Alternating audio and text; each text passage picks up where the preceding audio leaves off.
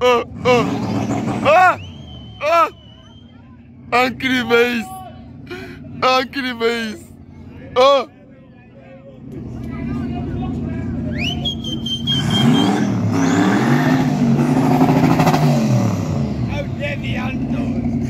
Oh!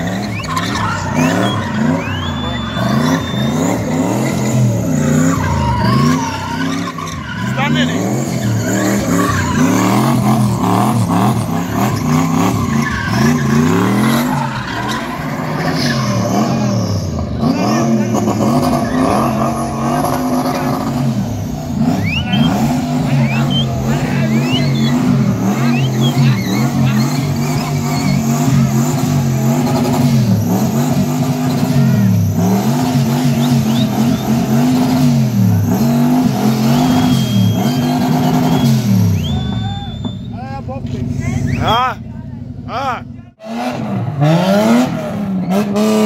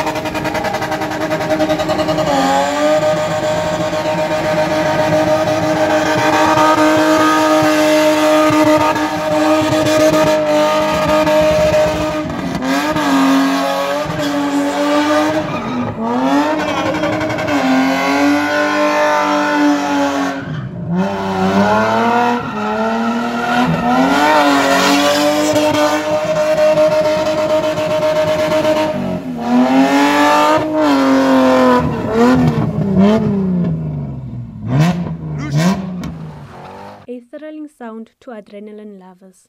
Squeaking wheels and smoke as these petrol heads compete in their annual spinning event, which has been in existence for eight years. With the new minister, Gayton McKenzie, saying he will professionalize the sport, spinners say it's about time. I I think with with Gayton McKenzie um, and his plans that he has for the game, again I'm gonna go back and say it's about time. We've been at this for many years, not getting the recognition we deserve, and I feel that finally our breakthrough is here.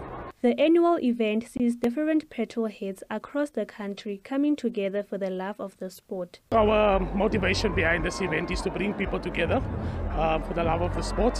So yeah, that's why we have it annually, proudly brought by Team Passion. Um, and yeah, that's why we do it here in the Northern Cape, the Diamond City. Uh, we believe this is the hub of spinning. As many consider it dangerous, These spinners say it's part of their culture. They say the sport has had a positive impact in their lives. As it said, a child in sports is a child out of court. These young spinners say spinning played a role in keeping them away from crime. Spinning is a very good sport. It keeps you out of trouble. I mean, like our youth of today. Um, it's very entertaining. Uh, it keeps me out of trouble. It keeps me out of drinking and wrong stuff. And it's fun, man. This event does not only bring those who love the sport together, but also promotes businesses in the city. With how many years some have been spinning for fun, those joining in say they are looking forward to seeing the sport given a national recognition. Karabo Siogo, SABC News, Kimberley.